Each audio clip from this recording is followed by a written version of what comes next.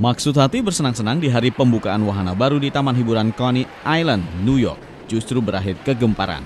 Minggu 29 Maret 2015 atau tepat di hari pembukaan, sekitar 100 orang pengunjung terpilih menjajal roller coaster Cyclone secara gratis. Tapi ketegangan yang diharapkan ternyata hadir dalam bentuk lain.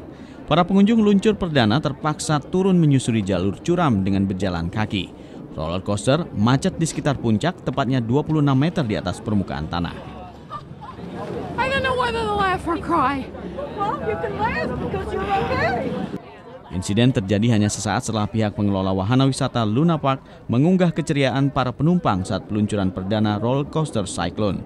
Saat diunggah sekitar pukul 11.30 minggu siang waktu setempat, penumpang tampak gembira menjajal sensasi wahana baru Luna Park ini.